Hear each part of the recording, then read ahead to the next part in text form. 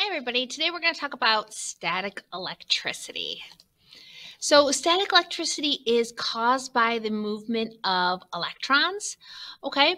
Just like current electricity, except that in current electricity, those electrons are always moving.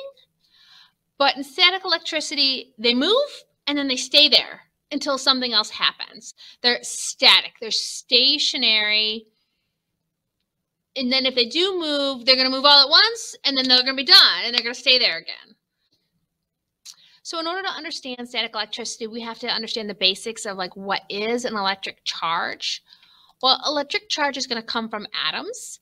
Atoms are made up of both positive and negative charges. So here's an image of uh, the atom, and we can see that here's positive protons and negative electrons. So that's where the electric charges come from. And we can actually measure the amount of charge an object has in coulombs. Okay, so there's forces of attraction and repulsion between different electric charges. Like charges will repel while opposite charges will attract. Um, these are very, very, very strong forces.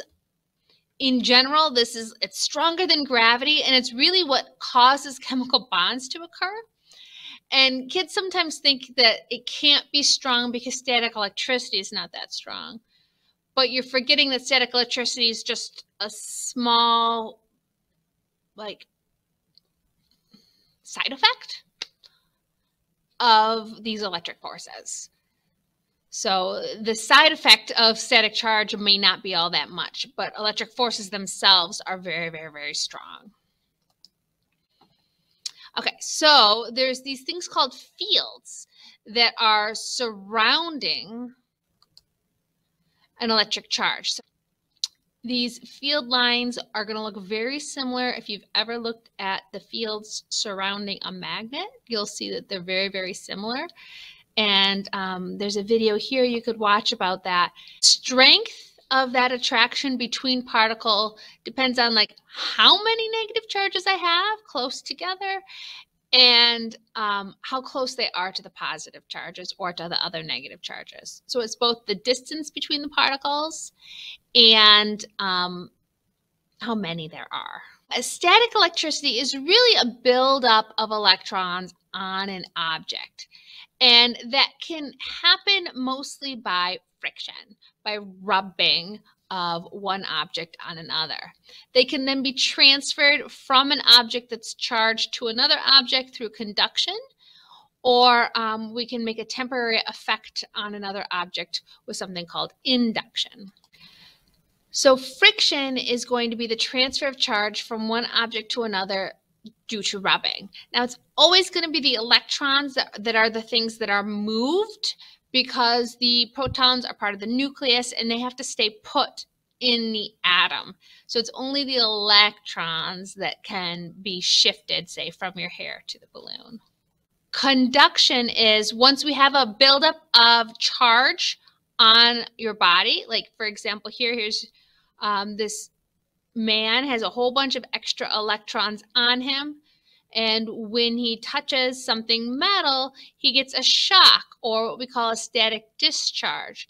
That's an example of conduction. The electrons were built up on him, they stayed on him until he touched something else, and then we saw a transfer. And it's a one time transfer, it's not continuous like in current electricity. The third way that charge can be um, influenced is with a process called induction. And that's when we bring something that's charged near another object and it can temporarily induce or like cause the electrons to move. It's not a permanent thing, it's more of a, a temporary state. I have a couple of videos that will show you the difference between conduction and induction, one using an electroscope that you can see here, and the other one is using some animations that you, that you can see here. Okay. So here is an electroscope. This is a tool that we use to detect static electricity. Essentially what we have is a piece of metal that is attached to a metal rod and at the end are some really, really, really thin, thin pieces of metal, kind of like aluminum foil, but thinner. And um, surrounding it is an insulator. So the charge only can be, if it's going to be moved, it's only going to go through this metal. It can't go to the surrounding area. Here's an image of a homemade one. So um, you can see you've got a cardboard cover that would be an insulator, and then we've got a conductor, and then some thin pieces of aluminum. The idea on how this works is, is it starts off like every object, it starts off as neutral. But if I have an object with a lot of extra electrons on it, like this um, must be a rod of some sort. It's got a whole bunch of extra electrons, and I bring it near to the electroscope, you can see that it pushes the electrons that were already in here. See how they were here? It just pushes them all to the bottom. And that's going to make these two leaves move apart because they're going to get pushed away from each other because they're the same ch charge overall. They're both overall negative and that pushes them away. Okay, and here we have a positively charged object being brought close to the electroscope and that's going to take the electrons that were already in it and pull it up.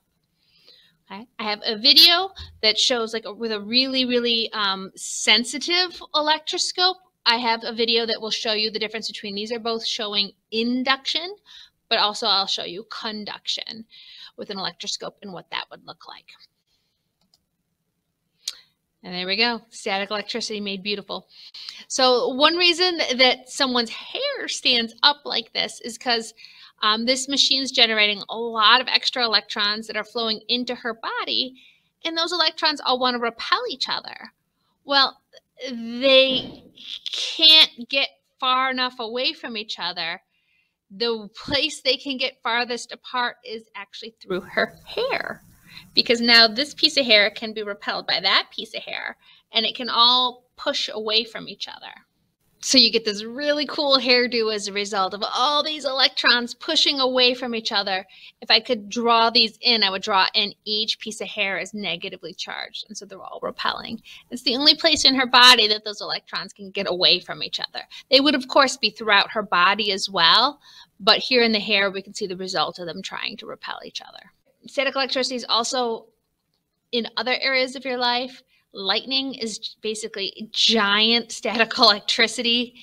It's really important to be aware of static electricity, especially when you're at the gas station, because if you were to have a buildup of static electricity on you, say from like sitting on your chair and getting out of your chair, that friction of your pants against the chair of the car, um, if you have a buildup of charge on you and then you touch the gasoline, you could conduct those extra electrons to the gasoline, which could cause a fire. One way to make sure that doesn't happen is to touch metal.